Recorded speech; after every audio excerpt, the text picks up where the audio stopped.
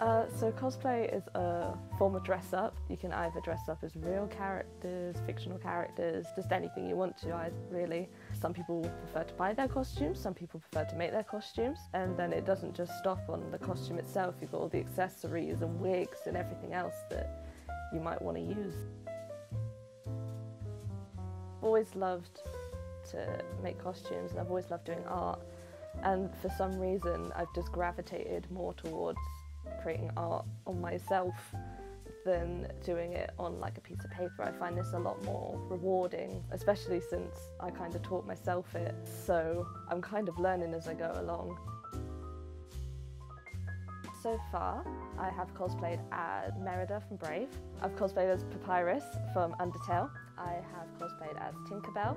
Around the same time, I cosplayed as Coraline, played as Morticia Addams, Velma from Scooby-Doo, uh, Max from Life is Strange, Who Framed Roger Rabbit, and I've also had a failed attempt at Bowsette, and I'm currently still making Princess uh, San from Princess Mononoke. And my current cos plans include Mary Poppins, uh, Oogie Boogie from Nightmare Before Christmas, and Veronica from Heathers. So recently, uh, I did a photo shoot just to promote my Instagram and uh, get a lot of my cosplays out there because I didn't have a lot of professional uh, photographs of my cosplays. Uh, the first one I did was uh, Max from Life is Strange. I did this about two years ago, I think. And I wore this to EGX, um, which is a gaming convention, so I had to have a character from a game. So Life is Strange is an indie game. The main character is someone who can time travel, which gives me quite a lot of opportunities when I'm wearing this cosplay.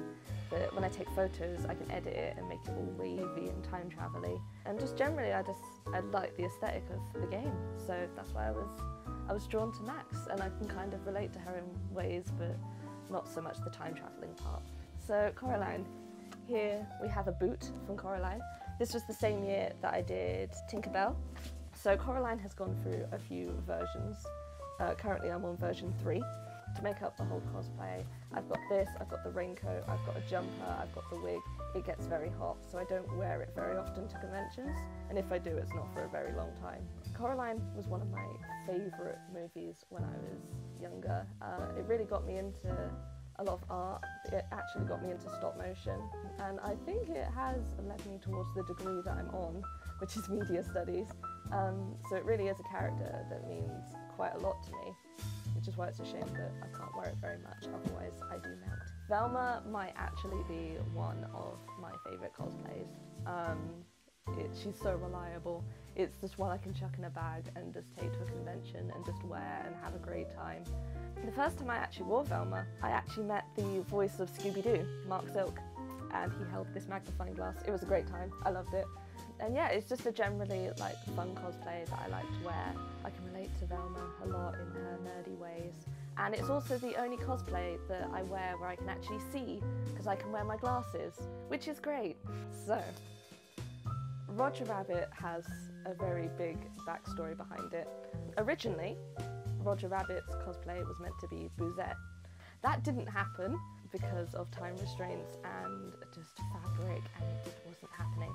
So Roger Rabbit was made in about a week if we're including Bowsette time. In that week I managed to make a whole bodice, dungarees, petticoat, uh, ears, and I actually made these which were my first pair of gloves the night before I was meant to get on the train for the convention. Uh, so you can tell that that was a completely stress-free cosplay construction. It was a really fun character to wear actually. It was it was really rewarding on the day of the convention. I got recognised a lot more than I thought I would because I felt like Who Framed Roger Rabbit was quite a niche thing, but apparently it's not. But yeah, it was really it was a really fun and a really comfy cosplay to wear all day. My cosplays can take anything from like a week if I'm really pushing it to, I mean, I'm still working on Morticia and I still keep updating Coraline, so that's like, we're talking years. But generally it's between like a week and a couple months. But money wise, I didn't, it was Morticia that made me start budgeting. Up until Morticia, I'd never budgeted a cosplay really, which was a big mistake. So Morticia taught me how to budget for cosplays, and generally, I try to aim between. My roof generally is about thirty pounds. Sometimes that goes higher, but if we ask my mum, that's not what I spend my money on. Yeah, I generally don't try to go higher. I dread to think how much Morticia costed me because I was learning so much just on the fly and I wasted so much money just on fabric that I just couldn't use. So it is quite an expensive hobby, but I do try to limit myself to one or two cosplays a year, maybe even a third one if it's not fully handmade. But I have found that handmade cosplays cost a lot less than buying different parts of cosplays because you're just paying for the fabric and you can get exactly what you want and how you want it to look. So I personally prefer to hand make my costumes because of the money. But if you can afford it, like I don't blame people for buying cosplays just straight out and just not making them. My friends and family, like especially my family, are pretty they're pretty supportive of what I do. They've always thought that, you know, I was a bit bloody weird and just very creative. So it wasn't really a surprise to them when I suddenly came home to my mum and I was like, look at what I've made. And it's just a full dress, it's a full Morticia dress. Quite often when I do makeup looks as well, I have to have the awkward trip of my bedroom to the bathroom where I wash it off. And if you if I encounter like my family or my flatmates on my way, it's kind of like a okay, Katie's on her usual bullshit again. So that's just generally the response I get because they're all quite supportive. It wasn't really a surprise to them that I wanted to go into this, especially after many years of Halloween and doing theatre and just having like a general interest in clothing and fashion and costumes. Everyone generally seems to be pretty supportive. Uh, when I made Tinkerbell, my grandma lent me her sewing machine so I could actually sew. yeah, that was basically where it all started and they just haven't really been surprised then and they're not surprised now. I mean, I would love to go into costume design. I'd love for cosplay to take me somewhere where I can do this as a career because it's something I'm really passionate about and it's something I really, really love. Whether or not that happens, I don't know. Like, I have considered going into like freelance and do costume design for people, do commissions, but obviously I'm waiting until I've got a higher skill level to start charging for that. I mean, generally with my hobbies, I gen I try to work out how can I make money out of this. Um, that's just who I am as a person. I'd love to still be doing cosplay in like a few years' time and like have such a high skill level that I can make a job out of it. That would just be that would be amazing, really. Um, I don't entirely disagree that cosplay is a form of escapism. For me, it's a creative outlet. Obviously, I can't speak for other people because people do cosplay for different things. No, I find it. The idea of escapism's weird because obviously you are dressed as another person, but I could kind of counter that as on Halloween, if you are dressed as a mime, you do not think you're a mime.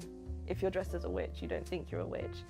Yeah, I will run around in character when I'm in cosplay, especially if I'm in like a kid's cosplay or like a kid's character in cosplay.